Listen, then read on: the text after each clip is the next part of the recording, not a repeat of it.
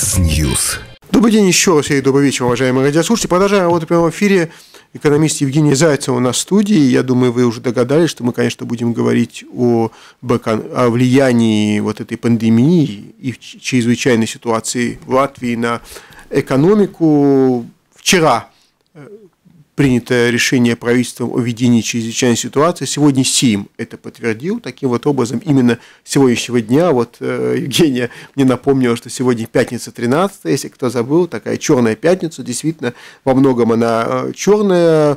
Правительство уже успело заявить после совещания премьера и президента Банка Латвии о том, что при необходимости даже для поддержки латвийского бизнеса будет потрачен миллиард он имеется, как, я не знаю, резервные деньги, судя по всему, в госкассе.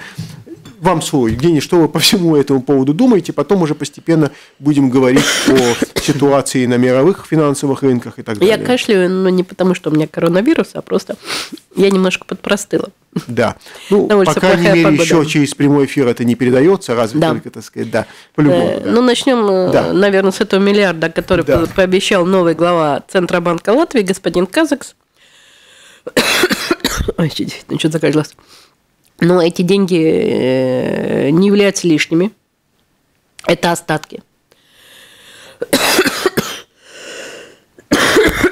Ой. Да. Действительно, сейчас напугаем радиослушателей, да. Э, это... это остатки денег на счетах. И, в принципе, это парполыкомс, то есть э, парполыком социального бюджета. Так. Это не есть деньги, свободные деньги. Сколько у правительства свободных денег на счетах э, в Алскассе, в государственной кассе, мы не знаем, потому что сегодня 13 число. Налоговая инспекция до сих пор не опубликовала результаты сбора налогов за февраль месяц. Ну, может, еще опубликует, несмотря на пандемию и чрезвычайную ситуацию, да. Я Да. Значит, что мы имеем? Э, январь месяц был хороший. Правительство об этом радостно докладывало, но это было связано с тем, что это были результаты декабря. Вот, февраль должен быть плохой по доходам, как э, прогнозируют независимые аналитики. То есть мы можем уже на это рассчитывать, да? Да, то есть э, сбор налогов будет не такой большой, как есть. Он февраль всегда он провальный, потому что в первую очередь возвращается ПВН, переплата ПВН автоматически возвращается, начинается в марте начинается возврат э, подоходного налога с населения и так далее. Это все уменьшает доходы бюджета. Но это как бы вот, э, то есть господин Казакс, он все-таки не банкир, и он слабо разбирается в финансовых вопросах, и его заявление о том, что то, что мы сегодня имеем, что это какое-то незначительное событие, это непрофессиональное заявление, так скажем. Вот. Я хотела подчеркнуть вот первое. Закон о чрезвычайном положении в Латвии есть. Но никто, судя по всему, может быть, военный, только знает, что это такое. Потому что то, что я держу перед собой, заявление правительства, распоряжение правительства о чрезвычайном положении на трех страничках, на двух с половиной, да, это не распоряжение о чрезвычайном положении. Это демонстрация того, что мы пытаемся что-то делать. Но первое правило. Если правительство принимает решение о чрезвычайном положении, вот этот документ да, да. должен был быть опубликован во всех информационных изданиях. Ни на Делфи, ни на сайте ЛСМ, то есть Латвия, Сабидальска, э, СМИ, СМИ, нигде этот документ не находится на первой странице. Я этот документ нашла на, на, на сайте Вестнисис, Латвия Вестнисис, и то мне пришлось немножко поковыряться. Это первое. Если чрезвычайное положение, об этом нужно э, говорить. И информировать каждого жителя. Каждого, и информировать это одинаковым языком. Это первое. Второе. Этот документ должен был быть зачитан неоднократно во всех средствах массовой информации, как частных, так и государственных. У нас есть государственное радио, у нас есть государственное телевидение. Это должны были зачитывать. Это, то есть, не сделано. Тем более, что Это очень точное замечание. Есть э, много людей, у которых проблемы со зрением, они не могут это прочитать. А негде прочитать. И негде прочитать. Ну, даже я вообще говорю, что обязаны были на радио и на телевидении это зачитать в полном объеме. А не проводить какие-то рассказы. То Да. есть вот э, журналисты лат- латвийского радио, русского радио, да, они рассказывают, что здесь написано. Дальше, если мы углубимся в то, что здесь написано. Здесь нет главного. Что такое чрезвычайное положение? Это чрезвычайные полномочия. Полномочия правительства применять действия, которые должны привести к позитивному результату и нивелировать негативные, э, нега- негативные события, которые происходят. А Что это значит? Если мы хотим остановить эпидемию, которая началась уже, и сегодня было объявлено, что в Латвии уже есть второй случай э, заражения не приехавшего из Италии, а члена семьи, приехавшего из Италии. То есть началось уже внутри латвийское как бы Заражение. заражение. Это плохой фактор. Это фактор, который говорит о том, что э, мы не выстраиваем антиэпидемистические меры. Эпидемия сама по себе – это пирамида. Достаточно одному человеку заразиться, он загружает, э, заражает окружающих. Это понятно, да. Вот. Э, Мы играем в демократию. И первое, чего здесь не хватает в этом распоряжении правительства, это уровень наказания за нарушение карантина.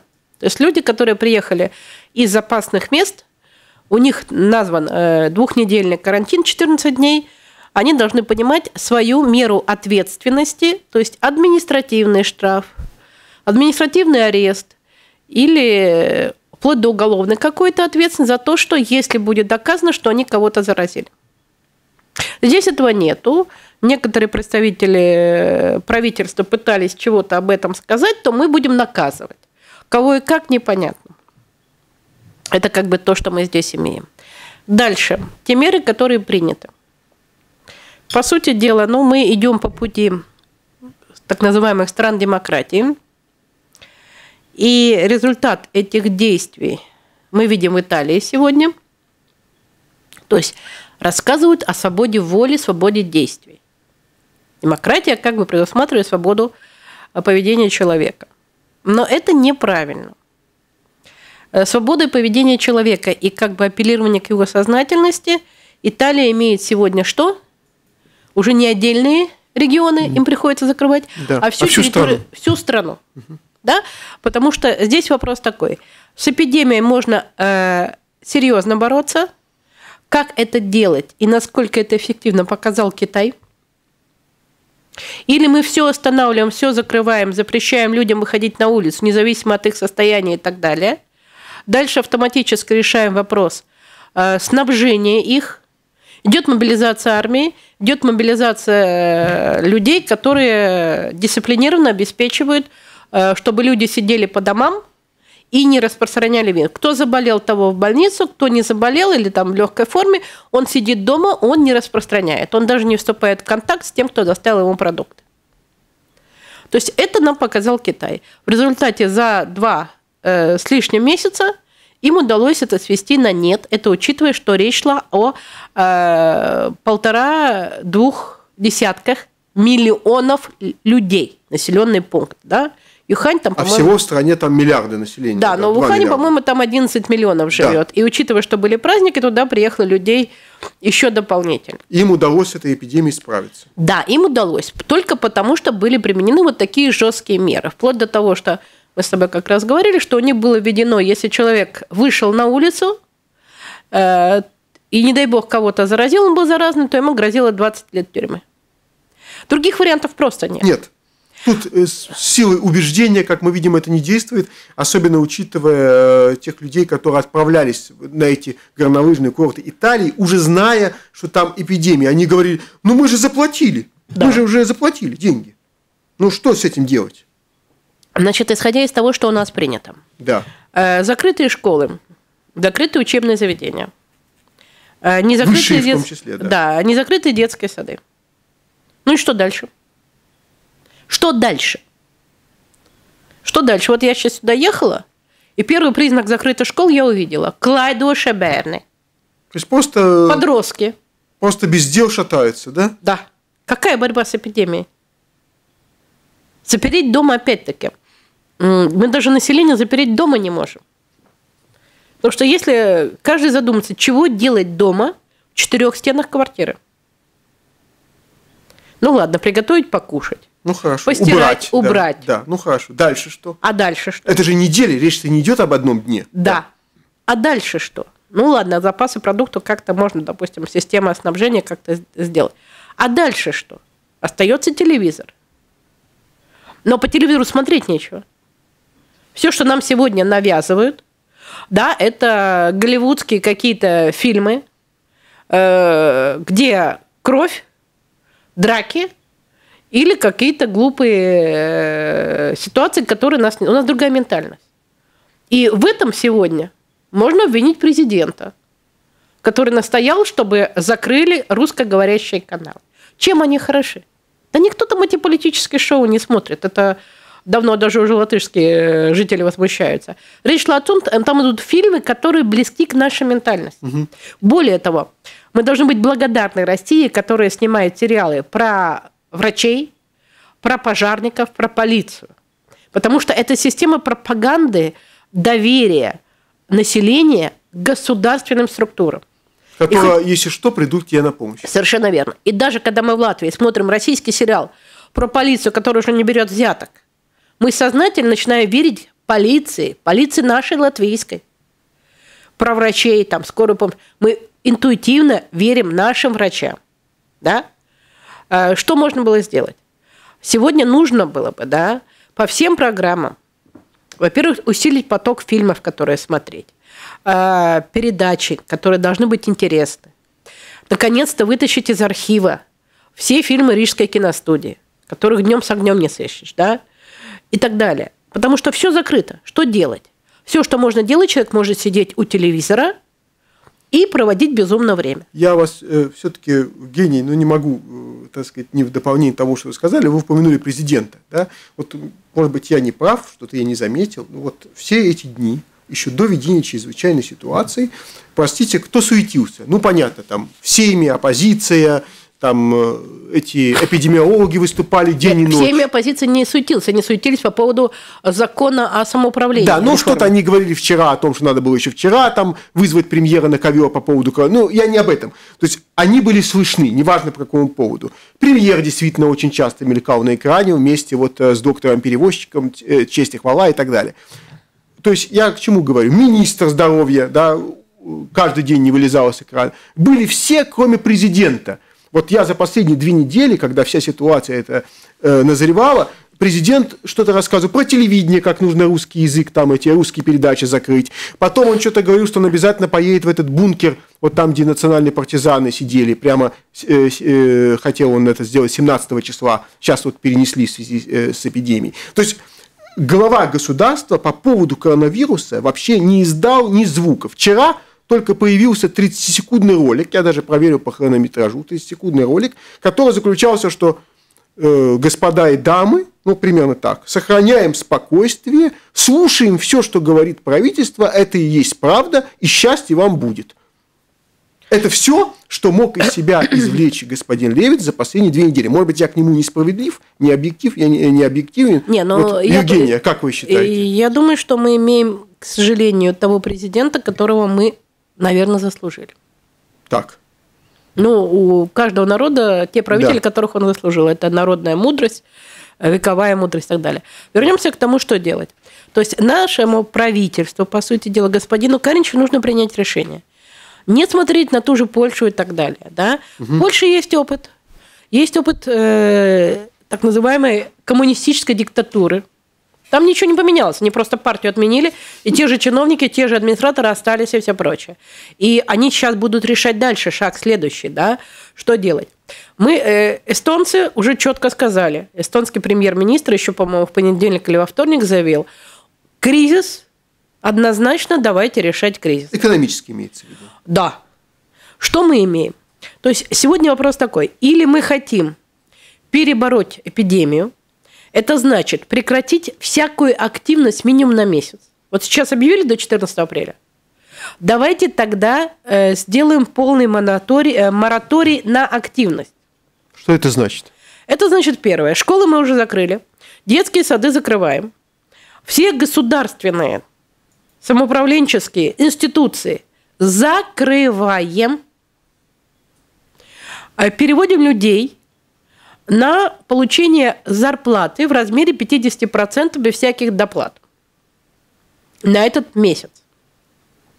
Те, кто будут оказывать услуги отдаленно через интернет, им можно делать доплату. Ну, то есть весь госаппарат, все структуры самоуправления переводим на э, домашнюю жизнь с оплатой 50%. Всех учителей, э, всех этих э, работников детских садов, социальных центров и так далее, то есть те, кого мы, кого, кому мы запрещаем выходить на работу, переводим на 50% оплаты. Дальше идет обращение к частному сектору. Э, частному сектору тоже предлагается по максимуму сократить объем работы на местах, то есть выход на работу, и разрешаем отправить людей э, дикставес, то есть получается возникает... На простой. Э, простой, да? Да. И разрешаем тоже платить 50% зарплаты, но без уплаты социальных платежей. Если мы не отменим социальные платежи за простой, у нас весь бизнес просто обанкротится. Или весь бизнес вынужден будет работать. А работать бизнес не сможет. Если школы закрыты, детские сады закрыты, дети должны быть находиться под присмотром, чтобы они не ходили по улицам. Это как такой вариант. Дальше идет обязательная мобилизация всех студентов медицинских и социальных программ, угу. ускоренное обучение а, пробам, э, взимание пробы и выполнение анализа на коронавирус, без всякой мутатни по поводу сертификации, там, аттестации и так далее, потому что сегодня Google лаборатория сказала, что они перегружены и так далее. Это то, что я говорю, это стандартные меры при чрезвычайной ситуации. У нас есть медики – у нас есть медицинские колледжи, у нас есть два медицинских вуза, Страдания и у Латвийского университета есть факультет. Все студенты мобилизуются, проводят обучение, они обязаны уметь это делать. Их просто здесь обучают, и они занимаются тем, что они берут анализы, и они же готовятся э, при необходимости на подхвате работать в скорой медицинской помощи, в больницах. Э, дальше армия переводится на военное положение – Полиция переводится на казарменное положение, замес сарги переводится на казарменное положение. Если мы уже говорим о чрезвычайной ситуации. Да, да, то есть то, что если мы хотим, нам нужно на месяц остановить жизнь страны. И всех людей, которые приезжают, брать под карандаш. И это достаточно легко сделать, потому что основная масса приезжает через аэропорты, автооста, э, кто-то приезжает через море, да? Но и остается выставить кордоны на дорогах. На дорогах каких? С Литвой и с Эстонией.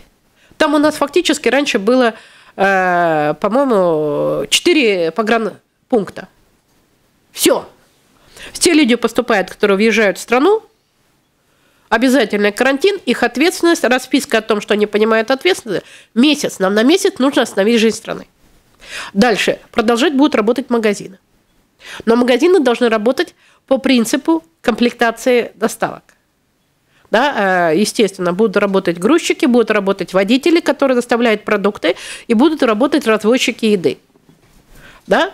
Э, таким образом, э, обеспечив людям, которые будут сидеть дома, 50% дохода, и чтобы бизнес не умер, мы убираем социальный платеж, мы можем фактически на месяц заморозить страну. Это нам даст вот этот резерв, да, то есть э, у коронавируса у него двухнедельный э, инкубационный, период, период да, да? И если мы это делаем сегодня, 13 пятница, то к 14 апреля у нас есть вероятность больше 75%, что в нашей стране вируса не будет, эпидемии не будет. Но то, что сегодня сделано, это ничего не сделает. Это просто хаос. При бессмысленных государственных расходах на содержание госаппарата. Я напомню, что они нам стоят 40 центов с каждого евро уплаченного налога. А все это, так как речь идет о мировом кризисе, у нас полностью обваливается. Помимо того, что у нас с января месяца обвалился обычный транзит, не связанный с этим кризисом, коронавирусом и так да. далее. А с другими проблемами? Да, с другими проблемами. А у нас что происходит дальше? У нас полностью обваливается туристическая отрасль за счет которой очень многие жили. У нас общепит обваливается, исходя из этого. У нас обваливаются гостиницы, да, и это... все другой смежный бизнес, гиды и все таксисты да, и так то далее. Есть это все, все это обваливается. Все это понятно. Все это обваливается. Евгений Зайцев у нас в студии. Прервемся буквально на пару минут. У нас реклама, потом вернемся. Mix News. Евгений Зайцев у нас э, в студии. Пытаемся проанализировать экономику, финансовые последствия вот пандемии и чрезвычайной ситуации в Латвии. Ну, беда, как мы знаем, не приходит одна. Тут и нефтяной кризис, и обвал э, акций на бирже, в том числе и связанный с коронавирусом. Вы уже в самом начале сказали, что мировой кризис уже идет. Какие могут быть дальше, не знаю, последствия? Может ли, мы можем ли проводить параллели с экономическим кризисом, хотя причины там были другие, но по последствиям 8-9 годов? Вот как вы все это оцениваете?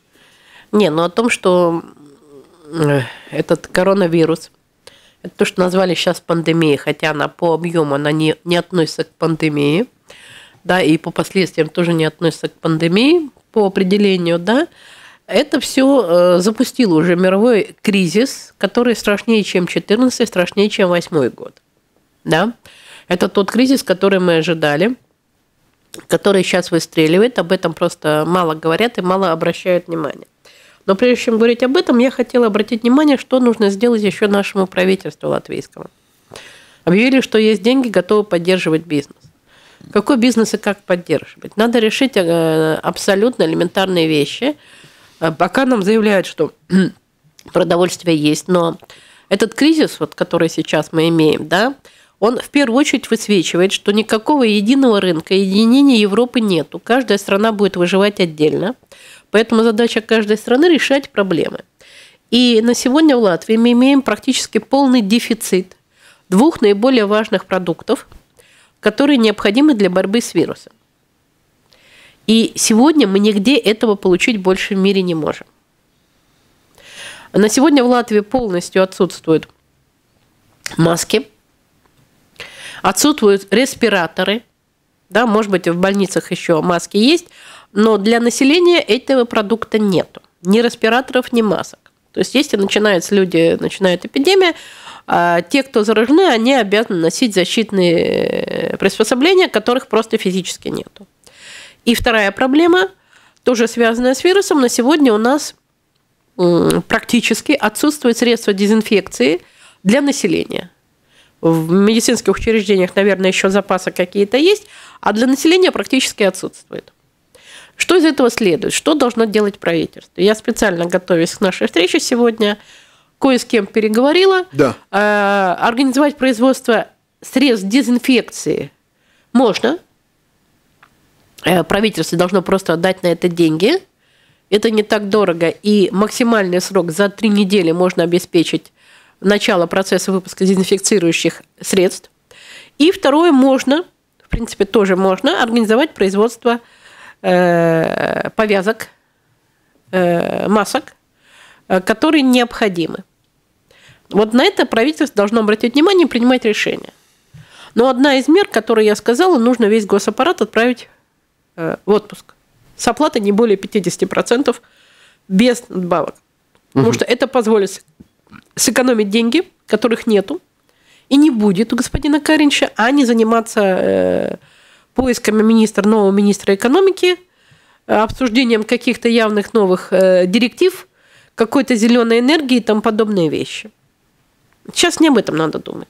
Или мы хотим выжить, или мы будем иметь эту эпидемию, вялотекущую порядка трех, шести, а может быть и всех девяти месяцев, да, пока она не закончится в мире, если вот будет это распоряжение, которое о чрезвычайном положении написало правительство и которое утвердил Сейм, если будет действовать только это, то мы поимеем эпидемию э, так долго, пока она не будет побеждена в Европе. Сколько это продлится, это непонятно. Но понятно, что не меньше трех месяцев, а то и все девять. Теперь то, что касается мирового кризиса. Одна из проблем заключается в том, что э, эпидемия в Китае остановила производство. Не полностью, но частично в некоторых отраслях э, уже почувствовали дефицит отдельных вещей, но это больше всего связано, насколько я слышала, с автомобильной промышленностью. Да, то есть Ухань там специализировался на производстве чего-то для автомобиля. А проблема вторая в связи с этим. Китай восстанавливает свое производство и так далее. Но в мире в связи с эпидемией будут падать спрос. То есть объемы производства, они будут падать. Люди не будут покупать ничего, кроме предметов первой необходимости. А, это, опять-таки, сокращает объем производства. Ну и в-третьих, самое главное, то, что сейчас происходит на финансовых рынках, на фондовых биржах, правильно сказать, мы имеем то, что было Великой депрессией. По сути дела, а, весь фондовый рынок на грани обрушения. Это то, о чем, ну, как бы, аналитики давно говорили, что в мире финансовый кризис 2008 года не закончился – пожар финансового рынка продолжался, его все время пытались погасить деньгами, и сейчас этот пожар вырывается наружу. То есть, по сути дела, что происходит?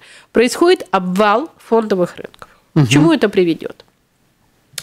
А для простых людей это ничего не значит. Э, то, что вот нам рассказывают, там на столько-то миллиардов сократилась стоимость чего-то, кто-то сколько-то потерял. Все это манипуляция с цифрами, Раньше это были цифры на бумаге, теперь это цифры в электронном формате, э, за которым ничего не стоит. Э, то, что необходимо людям, это реальный сектор экономики, реальные сферы производства и так далее.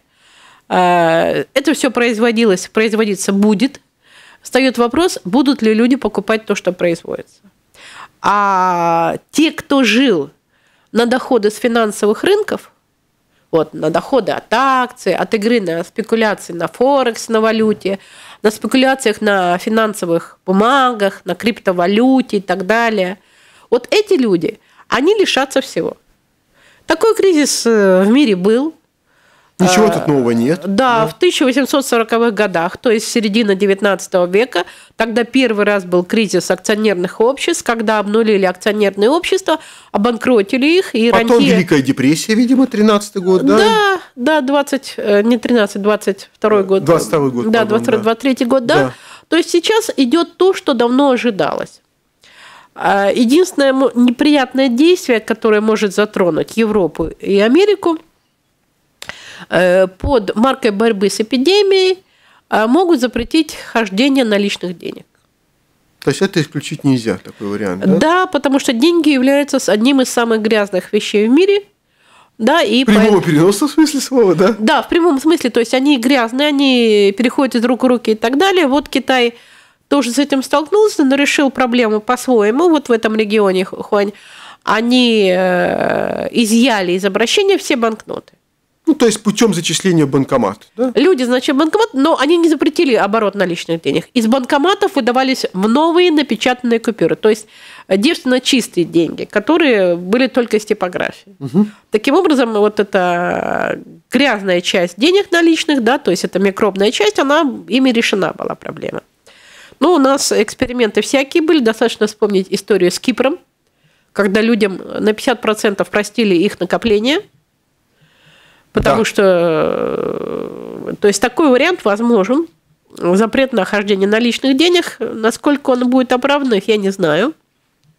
Э, если это сделать в Европе, в той же Германии или в Италии, я думаю, что это приведет, или во Франции, это приведет к социальному взрыву очень серьезному. Поэтому будут на, идти на это идти, не знаю.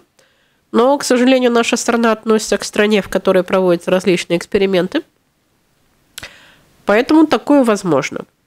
Ну,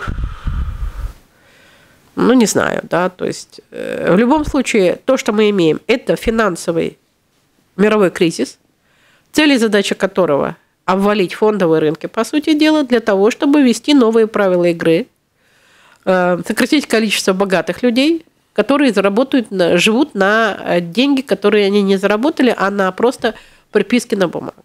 Вот это то, что мы имеем. А для Латвии кризис будет выглядеть иначе. То есть, если мы не пойдем вот на то, что я да. говорила, на меры чрезвычайных, реальные чрезвычайные меры, э, то мы будем иметь э, просто умирание экономики. Э, что касается сферы там, недвижимости, банков, как все это дальше будет происходить? Какие тут могут быть прогнозы, ну, учитывая ну, опыт предыдущих лет? Не, ну все очень просто. То есть, если у нас умирают те отрасли, которые позволяли жить. То есть речь идет о том, что умирает вся сервисная экономика, которая составляет порядка 70%. Ну, кроме э, потребления продуктов имеется. Нет, сервисная экономика. Сервисная экономика. 75% ВВП обеспечивается сервисной сферой. Это очень много. 25% это производство, да? да. То есть, э, исходя из этого, вся сервисная экономика умирает. Понятно, что вместе с ней умирают и все финансовые структуры, все страховые компании умирают, э, вся сфера недвижимости – Э, ну как, кто-то выживет, да, но объемы сокращений будут. Правительство должно готовиться, и уже мы это знаем. Э, полторы тысячи сокращает железная дорога. Ну, Baltic, для того, чтобы сохранить зарплату своего президента, по-моему, у нее 20 тысяч в месяц, да? Угу. Вот, э, он что делает? У них где-то тысяча с лишним работающих. Уже вот последняя цифра была, что 600 отправляют гулять. Кого как. Кого отпуск без содержания, кого увольняют? Ну, по разным данным, 400, 600. Нет, уже 600 называют. были названы. Уже 600 последние, да. да? Угу. То есть, что это означает? Это означает, что господину Каринчу придется вспомнить историю господина Домбровскиса.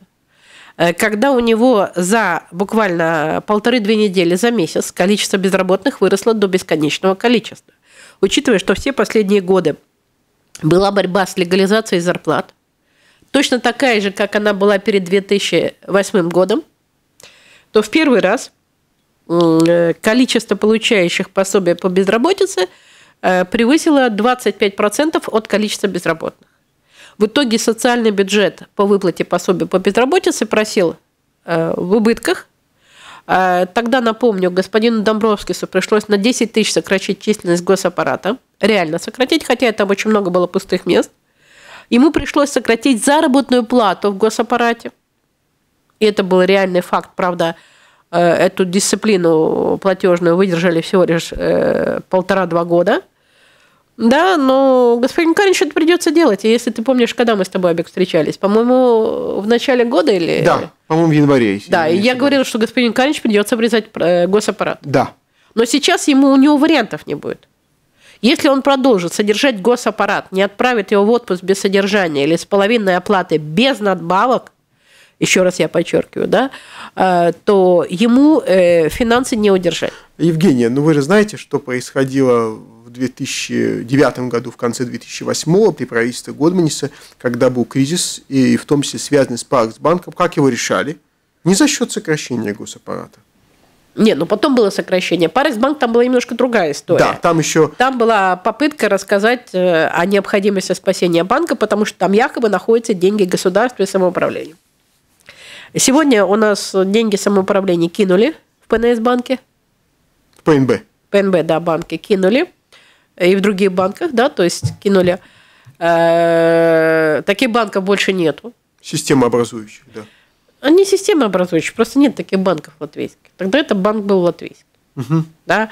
И там были э, долгосрочные э, экономические связи руководства банком – с бывшими руководством Народного фронта. Да? То есть вместе делали независимость если так уже вспомнить, да, то есть вы создавали экономику страны и так далее. Такие связи, они долгоиграющие и трудно разрываемые, поэтому там и спасали. Сегодня все очень просто. Вопрос простой. Или мы делаем чрезвычайное положение настоящее, или все, что мы делаем, это разговоры про бедных, и дальше я не знаю, что будет. Потому что все, что предложили правительство, так называемые льготы по налогам, беззубые льготы по налогам, типа, ну мы вам отложим платежи до июня месяца налог. А дальше что? Ну, простите меня, такие же отложенные налоги были, такая же схема была э, при кризисе. Да. При истории успеха. Мы никому ничего же не простили в итоге не простили, это одна из причин, почему э, Дзинтерс обанкротился. Они же тогда попали в финансовую ситуацию. Им отложили, им не, под, не, не помогли и так далее. Да? Эм, но то, что можно делать, э, чрезвычайная ситуация дает чрезвычайные полномочия. То, что можно было бы делать со стороны правительства, а, в принципе, заморозить на пару месяцев все финансово-кредитные обязательства населения дать так называемые реальные кредитные каникулы. Не чтобы банк там рассматривал, дать, не дать кредитные каникулы, а общее всему населению, у кого есть кредиты и финанс, лизинги, замораживаются платежи на три месяца. На время кризиса, потому что у людей реально обрезается зарплата. Бизнес Многие любой. вообще отправляются в отпуск э, за свой счет, без содержания. Да. То есть то, что я предлагаю, это в принципе такое щадящее. Если разрешить частному сектору отправить людей в отпуск, но если отправить людей в отпуск без содержания, люди озвереют, потому что жрать нечего будет. Вот это грубо говорю, да? Потому что нет у людей накоплений. Они не выдержат эти э, полтора-два месяца, да? Им нужно дать хоть что-то. Можно дать 50% от зарплаты. То есть этого хватит на еду и частично на проплату коммунальных платежей. Транспортных расходов не будет, потому что на работу ездить не надо. Все будут сидеть дома, дома готовить дешевле и так далее. Да? Если снять еще, заморозить кредитные платежи и так далее, мы можем обеспечить, что люди выживут. Но частному сектору надо дать реальную льготу. Вот с этой зарплаты, которая платится за дикставос, да, то есть не, Да. э, за простой, Да. разрешить не платить социальные платежи. Причем проконтролировать это достаточно просто. Да? Есть система электронной отчетности, по каждому человечку дается сообщение, можно ввести дополнительный код, да, э, чтобы бухгалтера сделали эти сообщения, и налоговая инспекция это проконтролирует. Это единственный такой вариант, который может позволить нам решить эту проблему. Так мое мнение лично. Я задам вопрос такой, ну, может быть, э, такое неблагодарное дело делать прогнозы, особенно в период кризиса, как мы констатировали. Но, тем не менее, мы знаем, что когда был кризис, вызванный совершенно другими причинами, в конце 2008 он до Латвии дошел, потом был 2009, 2010, 2011, ну, 2012 еще тоже плюс-минус. В 2013 вроде бы появился свет в конце туннеля. Мы не будем говорить о последствиях этого кризиса. Ну вот, тем не менее. Что касается этого, сегодня премьер-министр, ну, ясно, у него такая задача быть психотерапевтом. Он сказал публично, что вы знаете, ну, мы же говорим о кризисе, вызванной э, пандемией, ненадолго, один-два месяца, может быть, вот какие-то затруднения. Потом вот как мы справимся э, с этой вот инфекцией, все как-то нормализуется, потому что экономика сейчас в Латвии стабильна, это не 2008 год, у нас нет больших там государственных долгов. В общем, не буду повторять всю эту речь психотерапевта. Что по факту, как вам кажется? По факту у нас совершенно другая ситуация. Кризис совершенно другой э, вида. Да. Да, то есть, что такое был кризис восьмого года?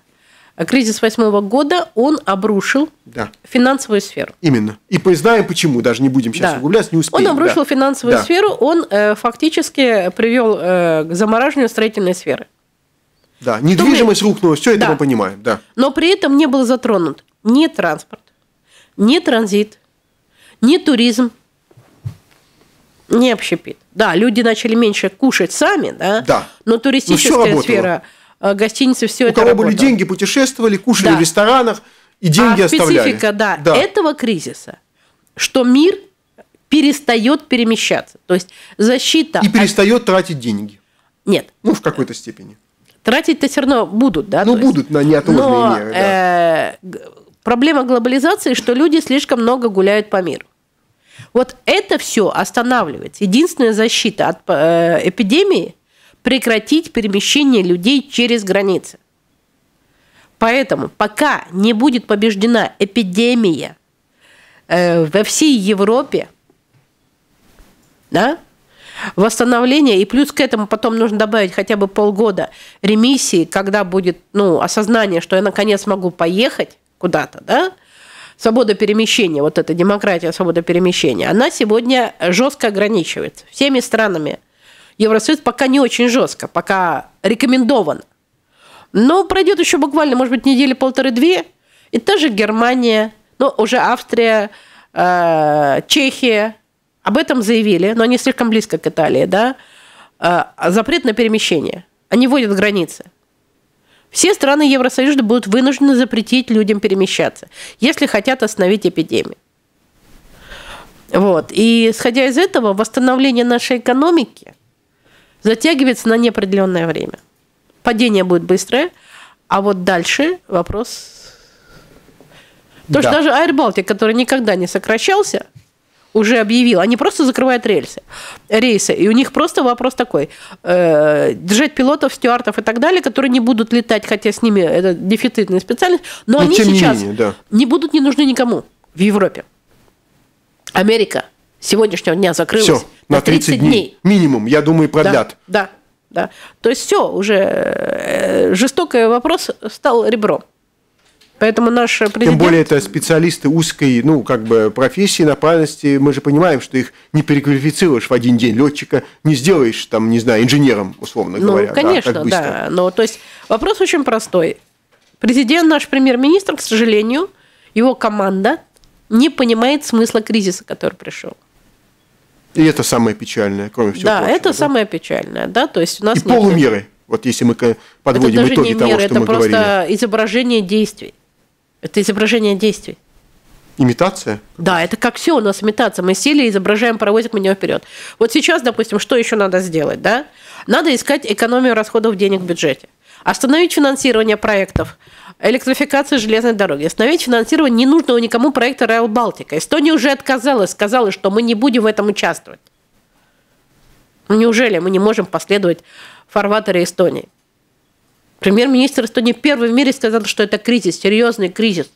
Больше не о чем говорить, ребята. Это серьезный мировой экономический кризис. Он сказал, напомню, это в понедельник или во вторник. Мы еще в это не верим до сих пор, да? Естественно, мы не верим. Да. Между тем, сегодня вот только что пришла срочная новость, еще двое инфицированных в Латвии обнаружены после этих тестов. Того общее количество достигло 18. Ну, мы видим, что, к сожалению, пока э, вирус не остановлен, в Латвии в том числе. Он не может быть остановлен, потому что э, люди не осознают, они не будут осознавать ответственность. Ну да, я там был, ну и что, ну меня пронесло, да? Да, ну я же еще пока не болен, пойду погуляю. Да, да. а он уже разносчиком заразы да. является. То есть да. только жесткие меры могут это Только остановить. жесткие, и не просто мы как-то будем что-то наказывать. Но жесткие меры, это значит, мы создаем целую систему. Система жизнеобеспечения населения. Кризисный период. В кризисный период, когда улицы пустые, как в Китае показывали, да, опять-таки решаем проблему. У нас нет ни масок, ни дезинфицирующих средств в достаточном количестве. Масок просто нету. Для населения вообще этого всего нету. Да? И мы не сможем нигде это в мире сегодня купить. У нас есть вариант, мы физически можем организовать это производство. Не сегодня, но если мы сегодня начнем, то через три недели, через четыре недели мы будем иметь это производство. Евгения Зайцева у нас была в студии. Большое спасибо.